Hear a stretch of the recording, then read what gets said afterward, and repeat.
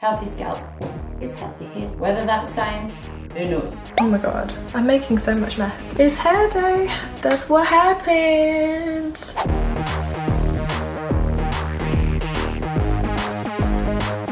Hi, my name is Pamela and today I'm sharing my curly hair routine. So in the last couple of years I've really embraced my curly hair. I spent a lot of my life straightening it, whether it be with blow dryer, straighteners, chemicals, I've done it all. But I find that living in a place like the UK, when it suddenly rains without warning, uh, you're in trouble. You spend the rest of the day worrying about what you look like, how frizzy it is, and what it's gonna look like when you get to the place that you're going to. Whereas actually if you just embrace your curls and they get a bit wet, then they tend to just kind of bounce back to some sort of semblance of order. So we're lucky, you gotta embrace it. So uh, as you can see, I have already washed my hair. I do two loads of shampoo. The first wash, I scrub my scalp and I get really stuck in everywhere because healthy scalp is healthy hair. Second wash, I keep the shampoo in for a couple of minutes. I don't actually know why I do that, but I feel like it just cleans it better. A really important part for me is to towel dry my hair before I put the conditioner in because when you towel dry it and you get all of that excess moisture out, it means that there's more room inside the hair for the conditioner to be absorbed. Whether that's science, who knows? But it works for me. It makes my hair super duper soft. I leave the conditioner in. I have the conditioner in right now. So today it's been in for about 30 minutes. Because let's face it, we all have a little extra time on our hands. Okay, so rinse my hair, painted my fence today, so I have paint on me. Oops. Now, as you can see, I have really fine hair, so it's really important for me to get as much volume as possible. I use lots of different products, and I am using this one today, Cantu Pearl Custard. It's quite thin this, so I just coat my fingers with it and I flip my head upside down. Now, as I said, my hair is very um, fine, so it dries super quickly, so it is a little bit of a race against the clock. So that is three finger loads of cream. I'm gonna flip again, shake it out so that it doesn't all cling together. So I would like to separate the curls. My hair is finest at the front, so I'm going to do the front first, otherwise it will dry in like no time at all. I just section it off and at the back, pin it in. All I do is use my fingers to comb it out and then wrap it round my fingers. Now this, pretty time consuming, so if you don't have a lot of time, may not be the one for you, but the results are great. Okay, so that is the front section done. The important things I always think about is not to make the sections the same size. So just kind of just roughly do it. It's not, it doesn't have to be a work of art. Once you have unwrapped it, I tend to just like frequently, your hands get a little sticky, so doesn't hurt to get some of the dry product off. Do it and just be careful. That's me uh, done the front and back sections. So um, if your hair is fine, like mine, and it dries before you get a chance to do it, that's okay. All you have to do is just dampen your hands and run it through again. Twist and pull and then I kind of work my way up to the scalp and then kind of just let it unravel. So now that I've done that, I started to do a lot of hair flicking. So I never use heat. Not only is it not particularly good for your hair, but kind of just goes all over the place. So I start to scrunch. I try and shake up my roots as well to get them a little volume. I'm gonna leave this to dry naturally now. About every 10 minutes or so, I'm gonna whip my hair back and forward and scrunch again. Just keep rustling up my scalp. Also it feels quite nice a little scratch. As you can see, the curls are starting to dry. If the product gets a little crispy, which, you know, if you use a lot of it, then it very well might. The more you scrunch it, the crispiness is gonna go away. Don't panic, it's not like you're living in the 80s. Now, until it's dry, I'm just gonna keep on scratching, scrunching, and flipping.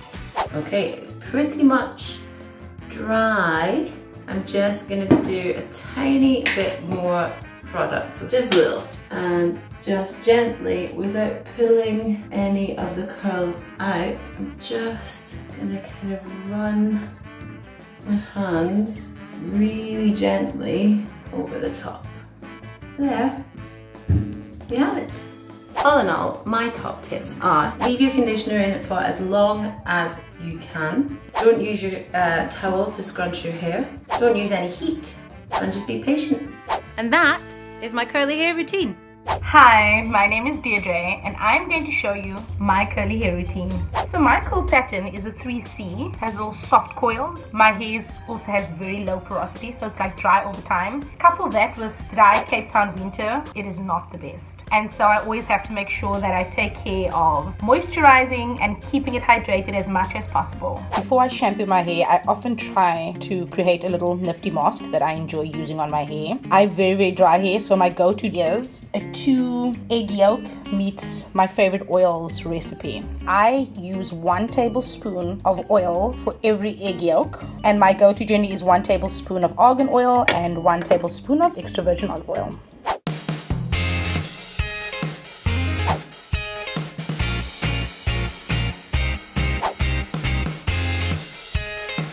Now I wash my hair with Garnier Ultimate Blend Shampoo with Argan Oil. Because my hair has been dyed and lifted, I need a shampoo that's going to help me maintain my hair color as well as retain moisture. So when rinsing off the egg mask, I ensure that the water is not too warm so the egg doesn't fry in my hair.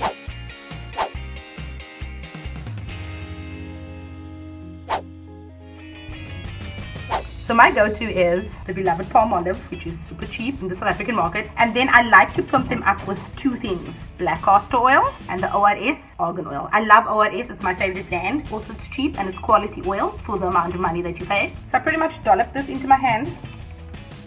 I do a little mix it in my hand and then I apply.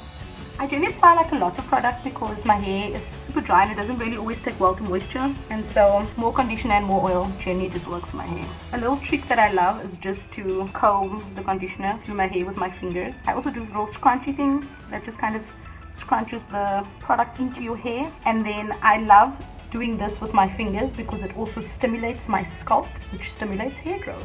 After I've applied my product, I arm myself with my favorite thing, my detangler and I just go through my hair and I comb it out.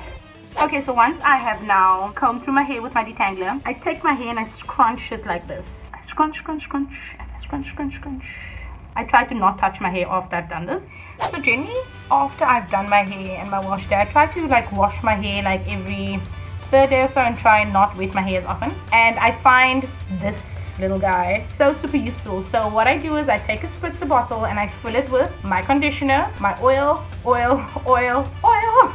and I just like, you know, spritz it a little just refresh the curls so it's not overly wet and that it's just rejuvenated ready. And that is my curly hair routine. Look at these curls. Look at these curls.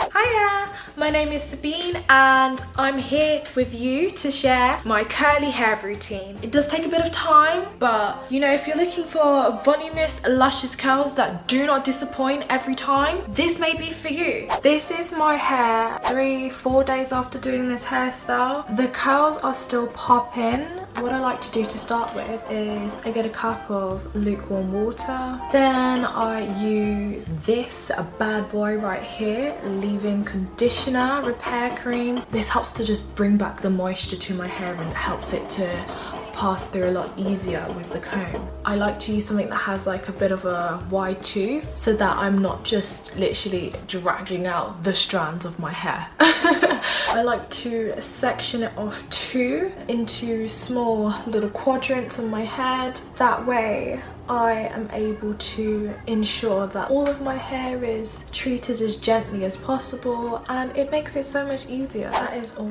done. The product is worked into my hair. So what I do is I take out one section of hair, I comb it through with my comb. I stretch it out before even putting the water on there just to have the water glide on a bit easier and as I'm putting the water on there I sort of smooth it out bit of leave-in conditioner in there. And I, I like to actually comb it from the bottom going up slowly. It just helps to ensure that I'm as gentle as possible with my hair. We are all done I like to use the Cantu um, moisturising cream shampoo as that essentially adds more moisture. It's a reoccurring theme and I also like to use the conditioner version to the shampoo. I feel they work hand in hand. I like to keep it in the twist when I'm washing out the conditioner. I just need to sort of get rid of the product out of there. After I finish, I like to also add the deep treatment mask. Whilst the hair is course still wet, I'll just put it in onto the roots of my hair. My shower cap, it met its last days not that long ago. So I am being a little bit ghetto and um, just using a plastic bag. I'm gonna put this on top of my head to ensure that I am able to essentially create a little bit of heat to really work the product in there and to just maximize um, moisture.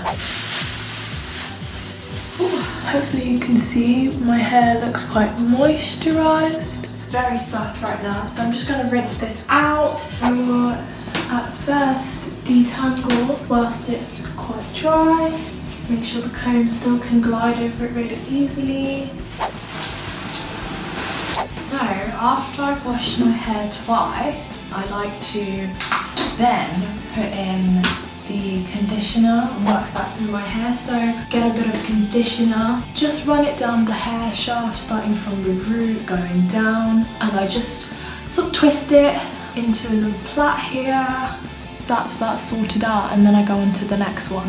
So my hair is now pretty much dry. I am now going to use coconut oil. It's great for, say if you have quite thick or coarse hair, it softens it and makes it so silky and smooth. I'm gonna mix it with the leave-in conditioner again that I introduced earlier. The combination of the two really help to penetrate the hair and make sure it's as moisturized as possible. I will section off a bit of hair and then I'll get a bit of the Kuza just to put in the parts of my scalp is showing. Then what I really really like to do and I've started adding more into my routine is castor oil. Benefits of using castor oil is the fact that it gives your hair a boost of vitamins and also adds moisture which in case you haven't realised is a huge thing.